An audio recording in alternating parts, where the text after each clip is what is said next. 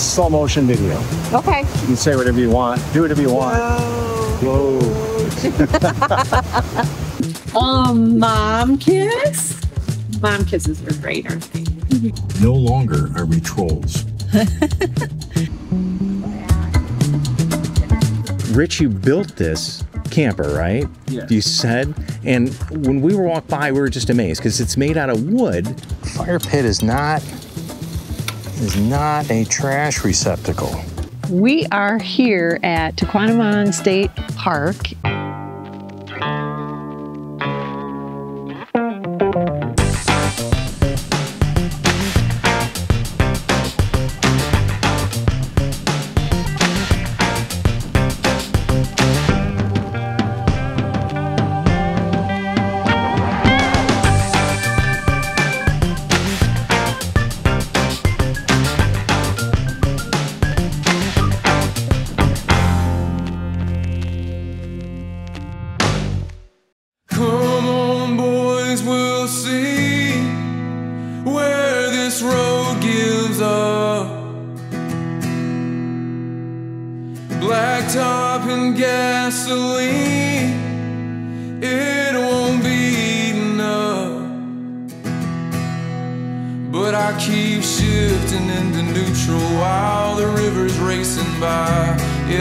Sitting in the chamber, locked and loaded, let me fly.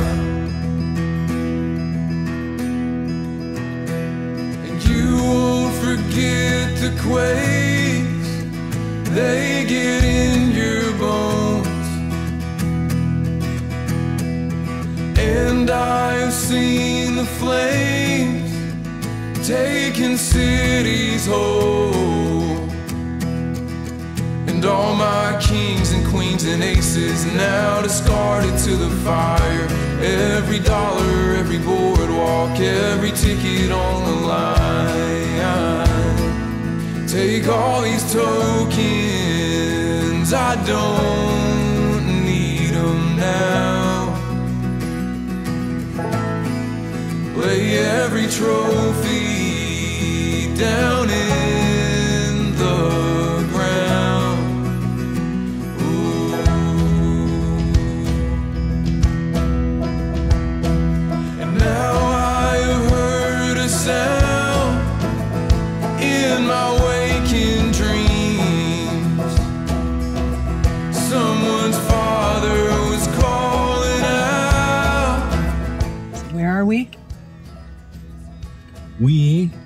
in Michigan's Upper Peninsula, finally in the UP.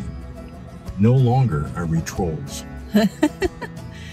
No, we're uh, Yoopers. Yoopers. We're, we're, we're the Yoopers, eh? So now now that we're up in the UP, and uh, now we can go to the, the things and and have a pasty and a beer. And we're going to pay our toll to go across. Supposed to be eight dollars um, for this to uh, for all the axles. We got two axles on the truck and two axles on the airstream, so it should be eight dollar toll.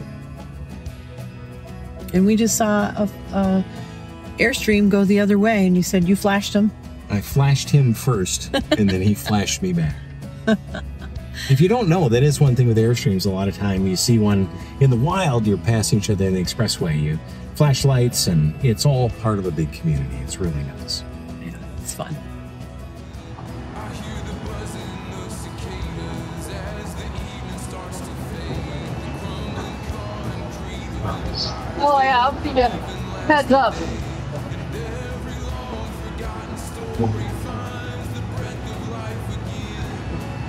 I forgot what to give you back for a minute. Have a good one.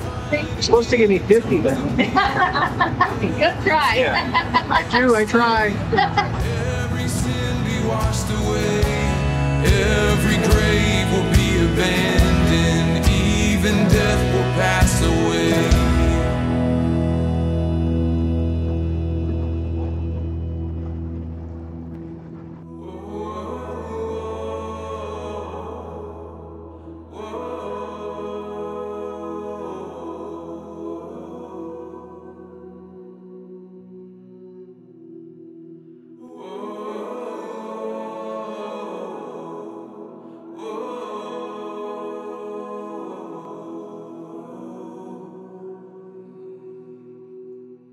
We are here at Tahquamenon State Park, and it's a beautiful night, isn't it? It finally is. It's been raining for the past few days, and we finally have a nice evening.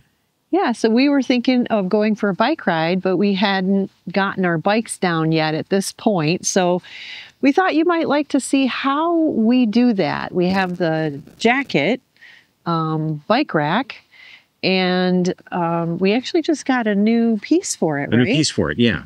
Yeah, I think I'm going to have Michelle flip the camera around, and then I'll kind of show you how the jacket works and the new piece that we just got for this. Cool. Okay. So this is our jacket bike rack, and we've had this on here for almost a year on the Airstream, and it has worked great. But we just got a new piece for this from Tony and Tina at TNT RVing. Our piece for the jacket, this section right here, it was the standard piece that kind of came up and angled back and then went up. And so the bikes were very, very close to the plexiglass, um, the, the window shield there on the Airstream. The main issue with that is that it made our propane tanks inaccessible with the bike rack on. Now with this new straight piece, we can get to the propane tanks. And in fact, we did that. We pulled into a gas station, they had propane, and I was able to, with the bike rack on, take the whole shroud off and get a propane refill right there, which was great.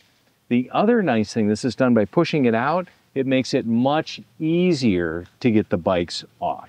So that's what we're gonna do right now. We're gonna start unhitching everything and get these uh, bikes off of this rack. So the first thing we're gonna do is we're gonna start loosening these. These parts that hold this on. That one, and then we'll get this one up here.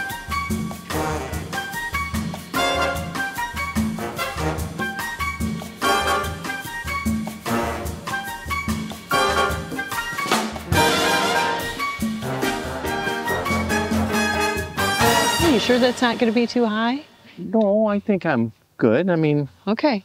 I got the, I got the muscles here. Look at those muscles. Yeah. So we grab the fork right there so it doesn't spin around, right? That holds this steady. If you grab this, that's front wheel is going to spin around, it's going to smash your fingers all up. So grab this and then either the back or the, I like to grab the center support right there. This just lifts up like this and then this lifts off of here and that's it. And our bike is down. That simple for that one. Now, the next one, Michelle's bike, that's where it really is going to shine. This new bar on there, that's where always the issue was because it was so close to the Airstream that it would hit that plexiglass. In fact, I put foldable pedals here on Michelle's bike, as you can see, um, so they would go flat. So then that would pull it further away.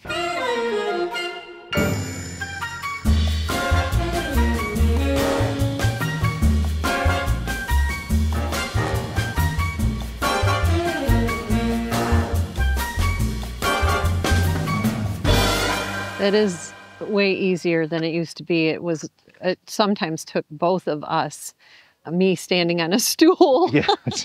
for me to be tall enough to help him lift it off those pegs. So that extra space. has made all the difference in the world. And again, Tony and Tina, thanks so much for this. You cannot believe how much this has changed our life and how much this works for the jacket. It's my understanding that jacket now includes this. Ours, when we bought this um, a little over a year ago, did not come with this piece. If it did, I probably threw it away because I didn't know what it was, but I don't think I got this. And Tony and Tina with TNT RVing said they actually had two of these. That's how we ended up with one. One is powder coated, like this original finish, and then there's this one here, which is standard steel tubing, and it's just um, like a shiny spray paint on there. I think we need to go for a bike ride, Michelle. That would be great. Let's do it. Tahquamenon Falls State Park is located in Michigan's Upper Peninsula. The centerpiece of the park's nearly 50,000 acres is the Tahquamenon River with its waterfalls viewable from multiple accessible overlooks.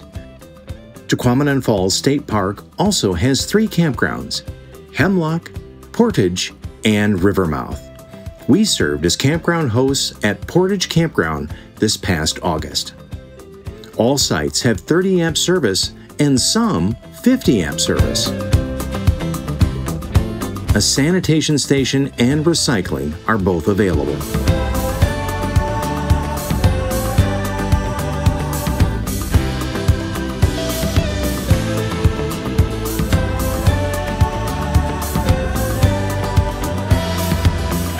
Portage Campground Loop is located near the river about a quarter mile from the lower falls.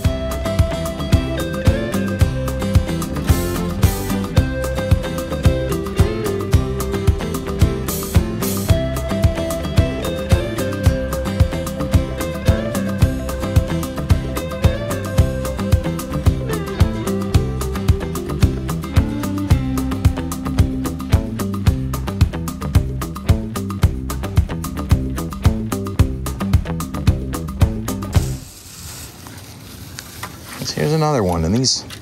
That's the thing. Your fire pit is not is not a trash receptacle.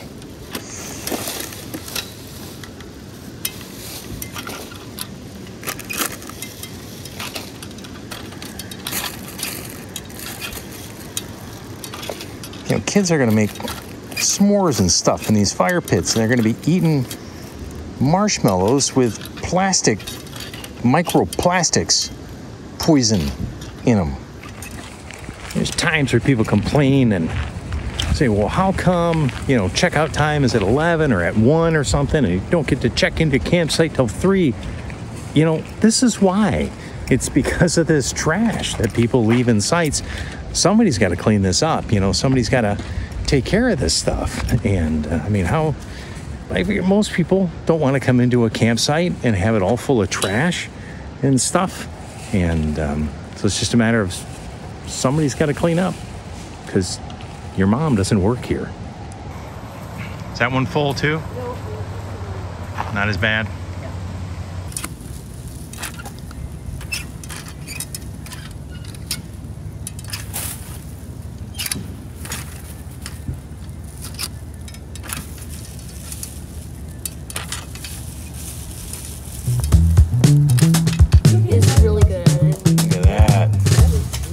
Your eye, keep your eye on the sparrow. Ron, yours is getting nice. Is it anybody's birthday this week? Uh, almost. Almost. Day. Sunday. And when is yours? Um, on November 19th. Okay, that's almost. I know, that's close. When you're waiting, it's close. How old are you gonna be? Eight years old? Well, happy birthday. And happy birthday to you too. It's November 18th. Rich, you built this camper, right? Yes. You said, and when we were walked by, we were just amazed because it's made out of wood, and it's just gorgeous. Um, but you said that it's actually modeled after something. Yeah, I uh, I got some plans from a guy. Uh, I don't think he's around anymore. It was campingclassics.com and got the shape and the layout and uh, kind of went from there and uh, recycled my redwood deck and uh, got it to look like it is today. That's nice. And you said it's built kind of like a like a wood boat because I thought you can't have a wood camper; it'll it'll like rot. But boats work on the water. Right. Yeah, I had built a couple wood strip canoes and kayaks, and so I used similar construction techniques. And there's epoxy and fiberglass on on this, and I guess you could flip it upside down and float it down a river. We could try because we're here at Tahquamenon Falls. We could try that. It'd be like the barrel over the Niagara Falls. There you go. It'd be something. Now, what was really neat, and your wife showed me a little bit ago, was the kitchen area. Can you kind of show me some of that? So we've got this hatch that opens up here, and inside um, we've got a little cooking area, and then our built-in, not quite a Yeti cooler. Cooler. Um, it's uh, actually built similar to the camper, wrapped in fiberglass and plywood. Very nice, very nice, and absolutely beautiful woodwork. Now, being former kitchen designer and kitchen sales, the doors, did you make those doors as well, or are they? Yep. That's amazing. That's amazing. And what the wood? Am I reckoning? Is is it birch or is it maple? Uh, it's actually hickory. hick- Probably should have gone with something lighter weight. but that was what was cheap at the wood store that day. Wow, I would not have picked that out as hickory. Yeah. So initially, and then the the outside shell, is Uh, redwood and birch. and birch. Birch That is that is Baltic birch. Mm-hmm. And then uh, in the inside, you said you've got it insulated, and so it stays cool Yeah, in the yeah. summer too. Yeah. Do you want to take a look inside? Sure. It might be kind of a mess, but let's take a look.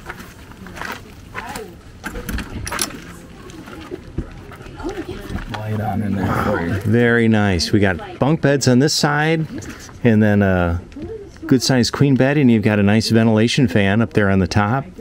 Very light and bright. So I built a recessed floor because I wanted to be able to stand up and put my pants on in the morning. Excellent. And the other design criteria was it had to fit in a garage. Mm-hmm. So it could fit inside a seven foot garage door. Wow. there you go. I didn't uh, didn't even think of that. So you don't really want to store a wood camper outside year round. I don't think Probably not. time it would probably Probably not. Not in cold weather, no for sure. But this is uh, this is an absolute beautiful build. Well, thank you very much. Yeah. Thanks for showing it to me. Yeah, no problem.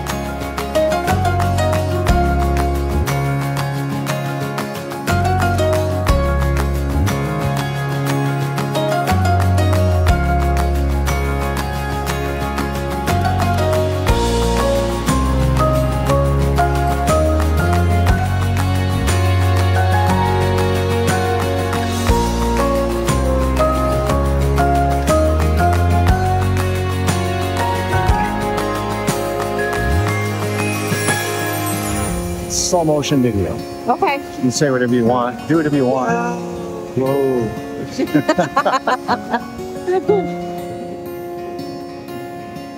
Close up shot of these falls right here.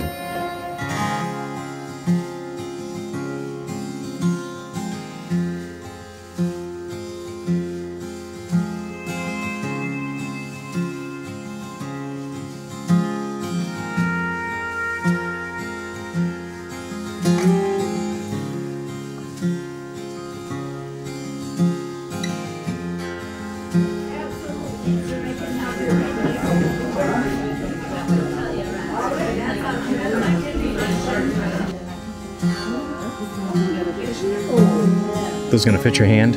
No.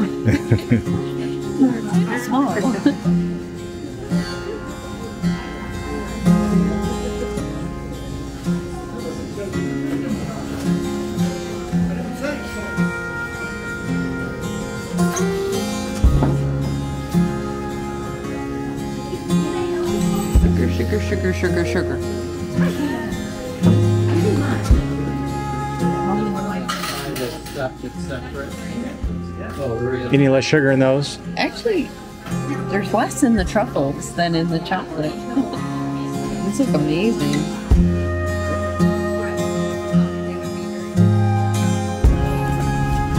It's a great idea to have wristbands because you don't have to hold on to tickets.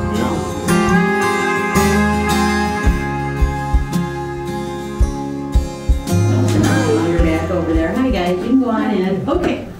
Thank you. Yeah, that'll play again. Yeah, it'll play.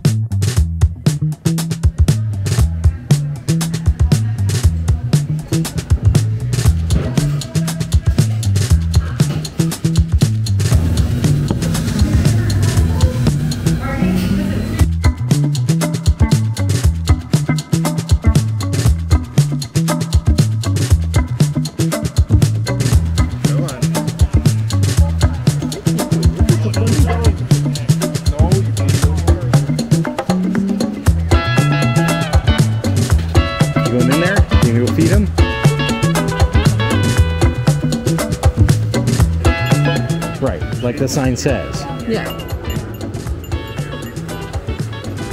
Oh, you want dogs to eat right out of your hand.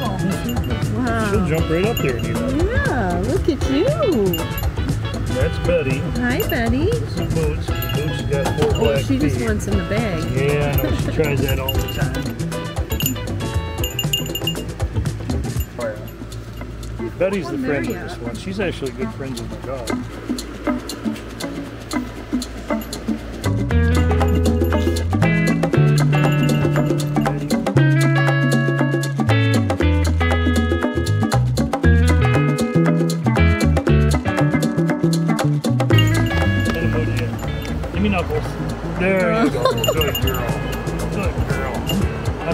time. There you go. Yay. That's what she was trying to do to me. Kept bonking me with her hand. Yeah.